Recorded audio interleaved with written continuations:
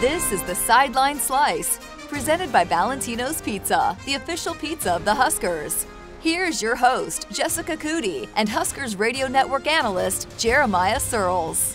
Welcome back into, yes, another episode of the Sideline Slice presented by Valentino's Pizza. Jeremiah Sirles is back in the flesh. You're alive, buddy. I am. Like I've told you guys before, you know, January through April, I disappear off the face of the earth. I've been on the road. I think I added up 34 days since the start of the year, so it's been an incredibly busy time for me, but it was good to be back around the building today, back in, seeing friendly faces, new faces. It's just good to be back. And in studio at that. Yes, like, and in studio. I the- big time I, I get to sit in the, the VIP Greg seat, so it's always good to sit in the king seat every now and then. oh, well, I mean, Pro Day. It, it's why you're back in the building. Mm-hmm. What'd you think overall? Yeah, you know, I thought it was a very good showing by everyone. You know, good scout numbers showed up here. I think I saw probably about 30 of the 32 teams looked like they showed up. You know, certain guys had good days. I don't think anyone had necessarily a bad day. You know, so that's always what you want to see. You know, as a pro day guy, didn't go to the combine, or even if you did go to the combine, you're just always about your last at bat in front of these scouts physically before draft day. So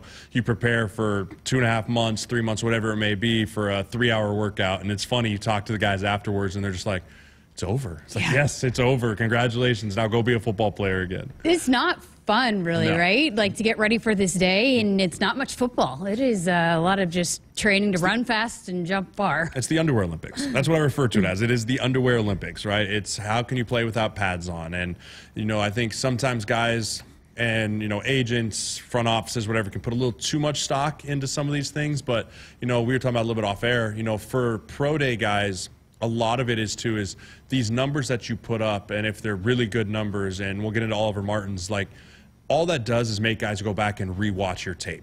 It brings you to the front of the line of a bunch of guys they have to watch, right? That's what you want to do as a pro day guy that's a non combine guy.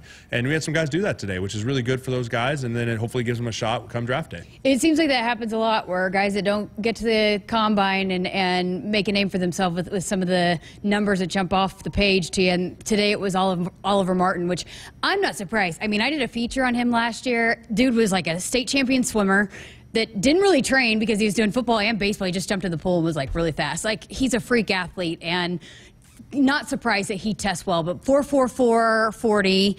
I think he 11 2 broad jump. Yep. I mean, he was uh, really impressive today. Yeah, and I think he had a 42 inch vertical too. I mean, so overall, the explosiveness was really on show. You know, and so the question always becomes for a guy like that, like the scout, right, goes, okay, what happened? Why wasn't his production where it is, or whatever? But you can always think, like, I can't coach that. I can't coach speed. I can't coach athleticism. Like a guy like that, scouts will love and down on the lower end of the draft or to the free agents and be like, let's get this guy in the building and see what he can do with NFL coaching, NFL quarterbacks, and those type of things, and see if maybe we can create and mold a player that can be a four-core teamer for us, and then carve himself out a role as the fourth, fifth receiver on the depth chart. And Garrett Nelson, another guy that didn't get an invite to the combine. How'd you feel? Like, Surprisingly, Really? I really thought he was going to get an invite to the combine. You know, I thought he was a guy that, for me, you looked across Nebraska's defense and you're like, who's the heartbeat? Who's the heart and soul of that defense? It was really easy. It's 44. You know, he's a longtime starter in the Big Ten, got a ton of production through his years here. You know, I think the hardest thing and the thing Garrett's going to have to fight is he's a tweener. You know, we talked about it last year with JoJo Domann, right? but he got a great fit. He got a great fit, right? All you need is a foot in the door. You just need one team to fall in love with you and one team to say, I like that guy. I like him as a football player, whether he's an on the ball linebacker, or off the ball linebacker, whatever it may be.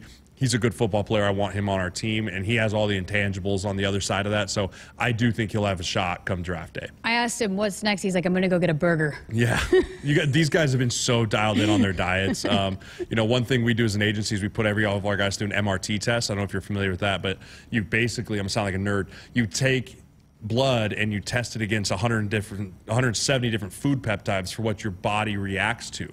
Not allergies so like for me like mine was broccoli and asparagus. Healthy foods right? Things i used to eat all the time but my body had a hard time breaking those down. So i wasn't recovering well. I wasn't doing all these things. So we do all our athletes um, our center, John Michael Schmitz from Minnesota, was cheese, and he loved pizza. loved it, right? Classic O line move. And so when he got done after Pro Day, we took him out, and he's like, I want a pizza right now. and so we took him to Broadway Pizza, you know. But like these dudes have been so dialed in every single day. Like this is such a big checkbox for them in the process. And now, really, it's just back to becoming a football player. Who's a team potentially that Garrett Nelson is a good fit for, do you think? I think any team. You know, I really do think any team is going to get a four core special teams guy right off the rip. You know, mm-hmm. I think Garrett Nelson is going to be a chance to be an undrafted guy that makes a 53 because of the heart and the intensity and how hard he plays and who he is as a person. You know, and that's what you need as a young player is to carve yourself out a role on special teams first so that you can make the 53 and then you start working your way into how you're going to fit into the defensive scheme. Well, Trey Palmer did run at the combine and he got quite a lot of buzz. He was the fastest wide receiver there. I don't think, to any surprise to anybody around here, knew he was going to go run really fast, a really fast 40. But you were there at the combine. What's it like when a guy puts up a number like that and you start hearing all the chatter about, oh, this guy just ran this? Yeah, I mean, he was the buzz of the combine, you know, and as a as an agent, you always want your guy to be the buzz as the week winds down. You know, so when you're the fastest guy at the combine, you're going to absolutely get a ton of people and look at you differently, right? Like, because everyone's looking for that guy that can take the back end off of defense, right? You're talking about a guy like Christian Watson last year from North Dakota State, gets drafted to the Packers, was hurt at the beginning of the year, comes back the end of the year, and their offense is completely different, right? So I think Trey Palmer running what he did is going to really make guys rise on the draft board. I think he's probably a day three pick anywhere in day three, you know, because when you hit those day three receivers, it really just becomes what teams need. Do they want a burner? Do they want a big body guy? Like, and everything in between. But when you run 4 4 3 3 or whatever it was, like, you're going to get a team that comes up and drafts you. Uh, what kind of impact do you expect Trey Palmer to make in the NFL? You know, I'll be curious to see. You know, he's not very big stature wise, you know. But if you look at like Samori Toure, also wasn't very big, and he caught touchdowns from Aaron Rodgers this year, you know. So I think a lot of it is going to be how that speed can translate, which we saw in Memorial Stadium here. It can translate to getting open, you know. So if he can get himself open, create separation, and become comfortable with a quarterback in the NFL, I could see him being a day one roster guy and being dressed and contributing as wide receiver four um, on rotational things in there, and then working his way up to try and be wide receiver three potentially a punt returner too, right? Correct, correct. Always, always a need for returners, right? If you can be four three three, get back there and return, then have that. But I'll tell you this: punt returner is a terrifying position. Yeah, I would. I would never in a million years want that job. That'd be the last position. You're I'd staring win. up at the sky as this thing's going crazy, and there is ten people running down the field that just want to murder your teeth. So, and not to mention, no. sometimes when it's cold or snowy or rainy, and you better not drop that thing. Hard pass. Hard pass on being a punt returner. You know, one thing about pro day too is you see a lot of former players come back. You were in the building. Austin Allen was there. Uh, Cam Jurgens was mm-hmm. back today. Uh, why is that? Why do former players want to come back and be here on this day? Yeah, you know, it's just one of those things that you remember the stress and the rigors of what this day meant to you. And when you can see guys, and I can remember seeing former players that came back for mine.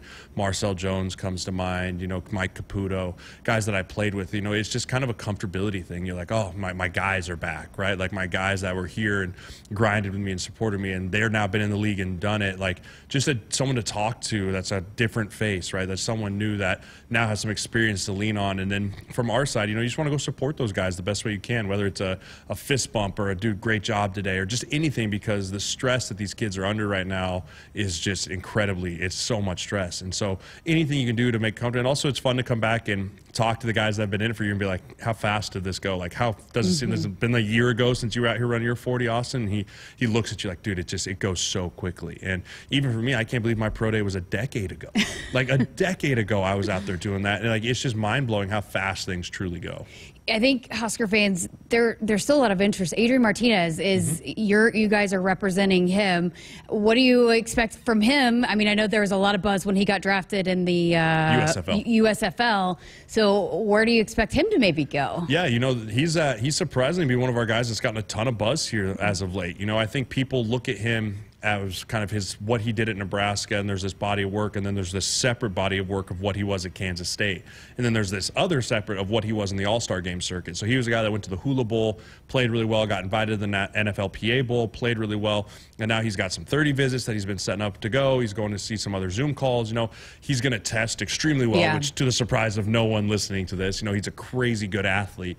You know, and with the expanded practice squads, you know, and now the, ability to bring guys up from practice squad a few times, he's a guy that you can put a special package in, like a Taysom Hill type of package, where you bring him up one week and you run five or six plays, and the next week you don't have him down, you don't have him up. But guess what? That team that you're playing that week has to prepare for that package, right? So he's the kind of guy that I really do think can carve himself out as a quarterback three role of a maybe quarterback four practice squad guy and just continue to get better. He's just such a good athlete. I think he'll really find a good spot in the league. How much too? Just seeing guys like Jalen Hurts, Lamar Jackson, some of these mobile quarterbacks have done in the NFL help a guy like Adrian Martinez. It's huge. It's huge. And, and I mean, the, the, whole NFL in general is shifting away from the statue passing pocket quarterback.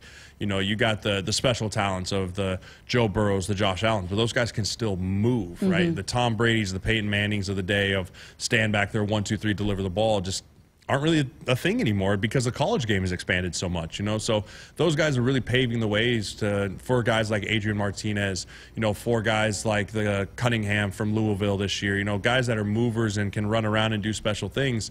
You know, it's really exciting because those guys are going to now get a shot. And you know, all you can ask for in this league in the NFL is to get a shot. Right. So you know, I think if Adrian can just get a shot and go show his leadership skills, all those things, you know, he's going to have the question marks as every player does. You know, but I'm just excited for him and how much he's grown just in the last year. Family traditions mean great food. With treasured Italian family recipes passed down for generations, Valentino's has become Nebraska's classic Italian tradition for 65 years.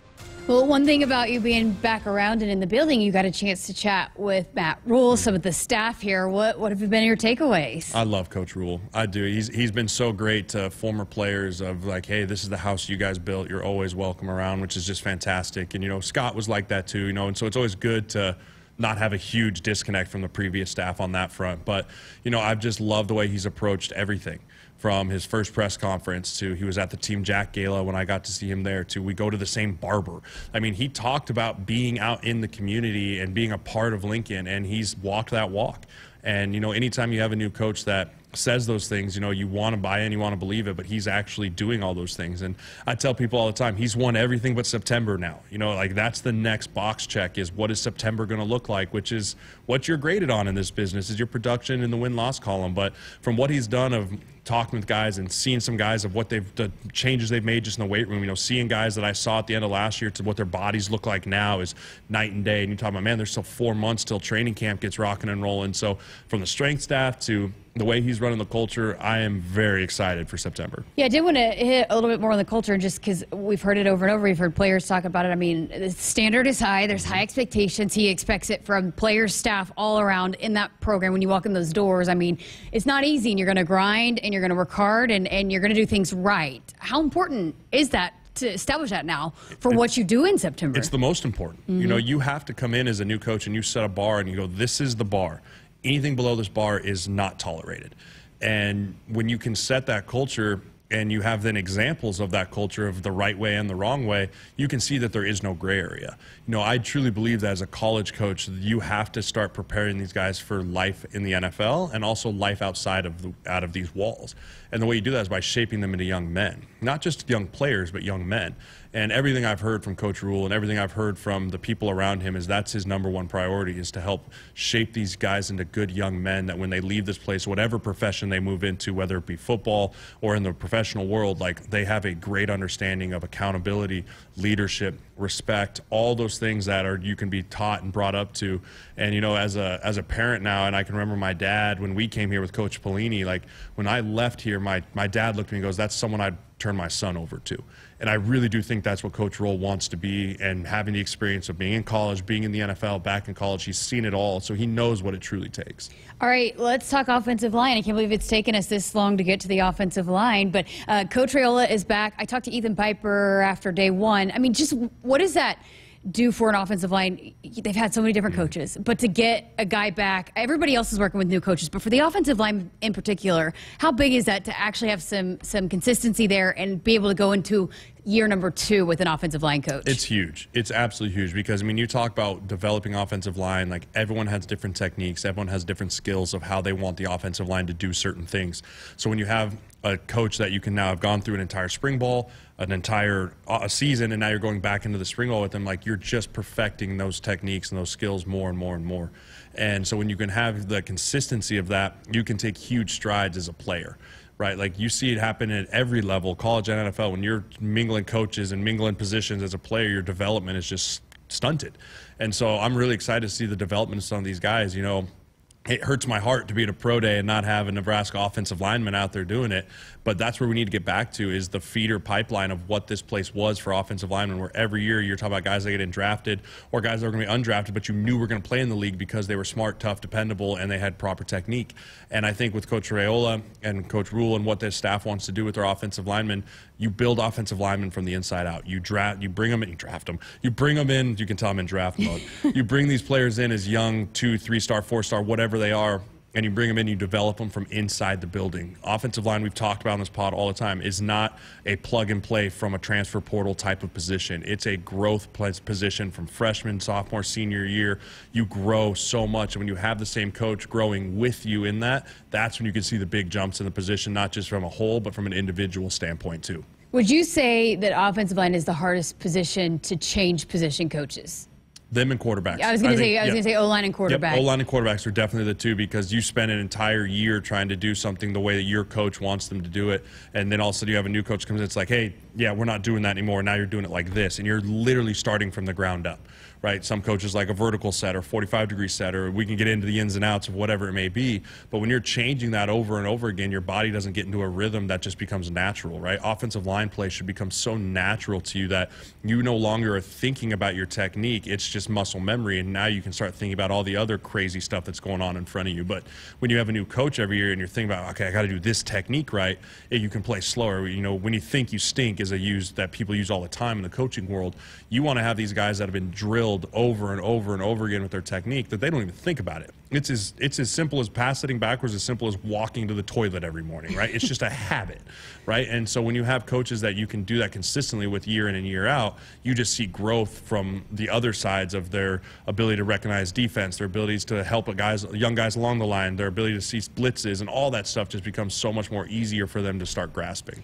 You know, with um, Nouri is back mm-hmm. out on the field. Teddy coming back, which Teddy had a big offseason. You know, they, they track points and competitions, and whoever is the leading point getter. Teddy was a co co leader of the getting points uh, throughout the offseason, which was big. So he's a great off offseason performer for this. I mean, just and we saw this group get better as the year went along. I mean, what's what's your I guess perspective, expectations for this group here in spring ball? Yeah, you know, I expect them to take a big jump. You know, I, I, would like to come out of spring ball with about seven guys that I think are game ready come September.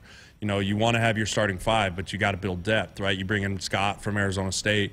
You bring him in as your middle guy because that is a hole that was going to need to be filled. Trent Hixson was gone. Cam Jurgens is gone. It's like that's a position that's very important, right? But you start talking about, okay, who are my tackles, right? You can't win in this league without championship tackles. You look at Michigan, right? Michigan's got Ryan Hayes, who's going to go be a NFL draft pick at tackle. You look at Ohio State, they got two offensive tackles. Like you win because you have championship tackles. So you start talking about Teddy and you talk about Benhart, you talk about Turner, and you talk about some positional flexibility guys out there. I'd like to come out of spring ball with two solid tackles and then about five guys in the middle that you think can contribute and help you win in a long a lot of ways. What does it do though when you I mean you were on part of O line groups that did this where you, you start building where you've got a lot of guys that have played a lot of football mm-hmm. together. So you look at all, a lot of these guys are going into year three and four that they've lined up together and, and, played a lot beside each other. Yeah, that's huge, right? You talk about the communication aspect of how do you play fast. Well, you have communication that doesn't have to be echoed five times around, right? You have a guy where you know it's a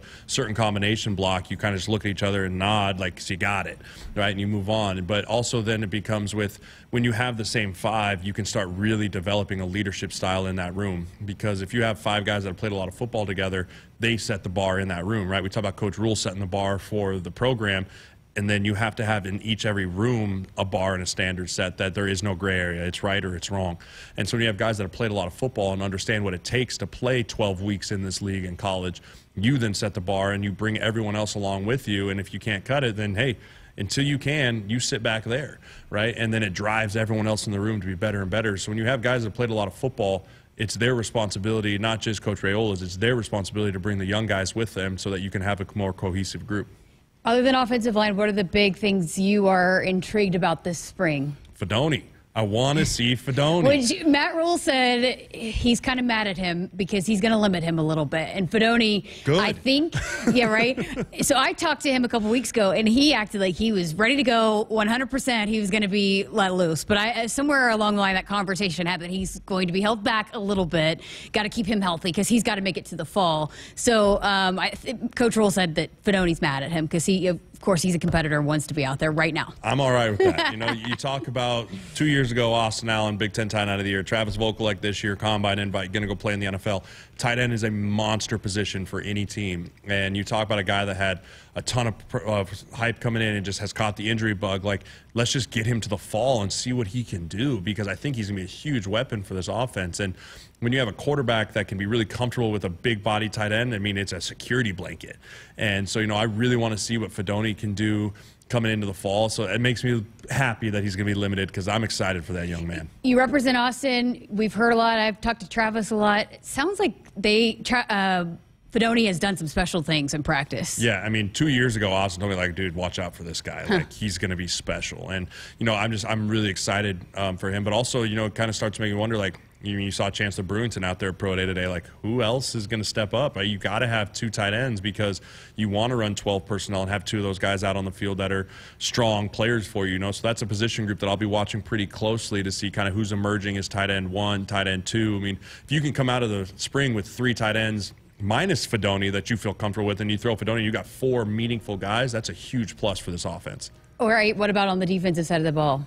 D line, obviously. Um, you know, you bring Ty Robinson back, who I think's probably the best D lineman in the room so far. But you know, you lose some key pieces last year. You know, Colton Feast is no longer there anymore.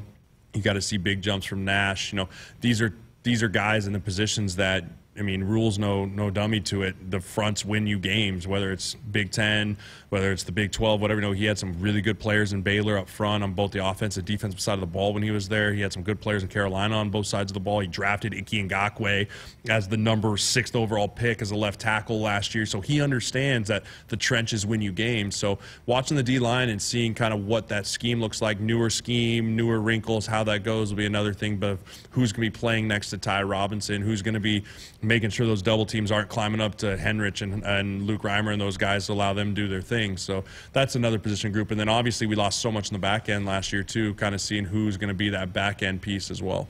So people are going to want me to ask you about the three-three-four defense and your take on that. And, and did you ever play up against a three-three-four? Honestly, no, I never did. You know, it's one of those things that the Big 12 is known for forever of being a three-three-four. And, you know, for me, it's going to be something different as I'm going to look at it. It's going to take my brain a little bit to kind of look through the ins and outs of it. But I do know that it does create a lot of preparation nightmares for offensive schemes because you have guys running all over the place and different type body types all over the place. And, you know, you can create some really unique blitz packages out of it. But I do know you have to have two inside guys that are dogs in order to run this defense. And I think with our linebacking core, what they are, I think we have the guys to do it. Um, even though it still pains my heart, Ernest. Oh man! But you know, it's one of those things that you got to have some dogs inside that can run all over and, and cover up for some mistakes. When you have blitzings that get caught, they can still run things down. You know, so I'm really excited just to kind of watch overall what our philosophy from a defensive side of the ball. Are we going to be ultra aggressive? Is going to be more of that shell defense, keep everything in front of you because you can do it all from the three three. Like you can do everything in between. So that'll be something I'll just keep my eye on as we watch the spring game and as we move closer to the fall of kind of the aggressiveness philosophy that this team's going to have. I think for me, it's more so about, um, you know, less about okay, three, three, four. But to me, just talking with Tony White and some of the players, it's more just being able to be versatile and the matchups, whoever you're playing, and being able to plug and play guys. And I think that's what they're looking for out of players that come in is guys that can do a lot of different things. Absolutely, it's like yeah, it's like that's what I mean. Like you're gonna have a D line. Can you have a D lineman that can put his hand in the dirt and rush the pass, but also drop and go cover the hook curl? Right? Do you have a guy that can play? Uh, deep safety, but when you need him to walk him into the box and be a thumper in there to stop the run, you know. So you're absolutely right. The versatility for the three three is enormous because you have playing guys playing tons of different positions that aren't necessarily their natural position, but you still have to get productivity out of them. I, I think for me too, defensive line is one that I'm looking back, looking at too, because on the you got a lot of guys in the secondary that are back, Myles Farmer, uh, Quentin, um, and then some of those guys that are coming back there, and then linebacker Luke Reimer says he's finally this is the healthiest he's ever felt, and I think they brought in some guys that they're really excited about. But it's who are you going to play up front, which is so key and so critical. You got to other than Ty Robinson, who else are you going to plug in there beside him? Yeah, and also like who's going to be the new emotional leader of this defense, right? Like you had Garrett Nelson out there who's been the emotional leader for the last two or three years. Like who's stepping up to that plate? Who is it going to be? You know, some guys lead in different styles, but everyone needs that emotional leader on the defensive side that's going to be there to to have the bring the energy when things aren't going well or to keep guys even keeled when things are going great. You know, I'm really interested. I'm not sure who that's going to be this year. You know, and I'm not sure we're going to know coming out of spring ball either. Those are Yeah. kind of things you see when the bullets, real bullets, start flying in the fall of who kind of steps up to the plate for that. All right. Well, um, what's I guess for you know when you go into a spring and it's a little bit different when you have a new staff and they're trying to establish their own. But uh, what when you get through these 15 practices, where do you want to be as a football team? What are you hoping to get accomplished here? Yeah, you know, it, with a new staff specifically, the one thing you want to make sure is just operation, right? Operation is so important that you lay the foundation of not just from a football side, but like, hey, this is what the practice schedule looks like. This is what I'm expecting of you every day from this period, this period, and this period. And then by the end of spring ball, you should have that down to where when you go into fall camp, that's a non, that's no questions anymore. Now you're really focused on the X's and O's, but also just installing your base offense, base defense here, the stuff that you're going to line up and run right now, but you're also going to run in November, right? Those type of plays that are non-negotiables. I don't care what they line up in. This is our base stuff. You want to have a really good grasp on that, so that when you show up to training camp, you can have the grasp on the base stuff. But now you can start bringing in the, the odds and ends, the sprinkles, the gadgets, the this against this look, against that look. But for a new staff going into spring ball, you really just want to have all the base stuff covered and the operations of what practice and what you're expected every single day. And then from a player's aspect, you know, I tell these guys that I'm recruiting guys right now all the time. I tell all these guys, go into spring ball with one thing you want to get better at. Just one. You know, don't have eight different things of like, I want to get my hands, my feet. Like, just have one. And if you can stay focused on that one thing every single day for those 15 practices, you'll be amazed when you come out on the other side of like, man, I've mastered that. Now on to the next thing. One player that you're most intrigued about, excited to watch develop through spring ball. Gabe Ervin. Yeah. You know, I think I think he's a guy that for me, you saw a lot of specialness for him as a young player. He was hampered by the knee injury, but he's a guy that obviously is getting a lot of love around here. But you know, that running back position is going to be really important in this Coach Rhule offense. You know, he's a guy that I would love to see pull himself away from this class of running backs and showing that he's the guy. He's huge, by the way. Good. He's put in the work in the Good. weight room they're leading up to now. So You need it, man. It's a physical position. It's a it's a position that takes a very physical toll on you, and you can be a tone setter from that position. So I'm really excited for him. AJ Allen looks good too. Our Oh, guy. boy, our, guy. guy. We called that last year. those two guys, I think those two guys can be a special running back room. Talking back to years of the Rex Burkheads, Ameer Abdullahs, and having that one-two hit. Like if those two guys can figure it out, be I'll be on the lookout for that. All right, any day now, it's going to be a Sirles family of five. Yes, my wife is fit to be tied. She is she is ready to get this little baby out of her. So baby boy number three will be here any day now, and we'll have three under four and just an absolute madhouse over at the Sirles household. Verman is excited, right? He can't wait. Verman can't wait. My daughter has no idea what's happening, but yeah, he can't wait. He could, his his name's Graham, so we'll have little baby Graham. So Oliver will correct you. Be like, "Oh, what's your?" He'll be like, "It's baby Graham." I'm like, "Oh, Graham." He goes, "No, no." Baby Graham. So, baby Graham will be here any day now. Well, next time, baby podcast, you will be able to talk about that new baby in the Sirles household. Absolutely. It's so good to be back. Golly, is it football season yet? Right, we got a little bit, but glad you're back in the building Mm. too, and good to see you. And uh, we'll have another episode probably at the end of spring ball. We'll, we'll revisit and break down everything we've learned after the spring game. So, um, finally, people have been asking for you where you been, so you are back. I'm back. I'm All right. Well, for Jeremiah Sirles, I'm Jessica Coody. Thanks for listening to this episode of the Sideline Slice presented by Valentino's Pizza, the official pizza of the Huskers. Go Big Red. Valentino's, a slice of home you just can't get anywhere else. What started with a treasured family recipe in Lincoln, Nebraska has become a classic Italian tradition for 65 years.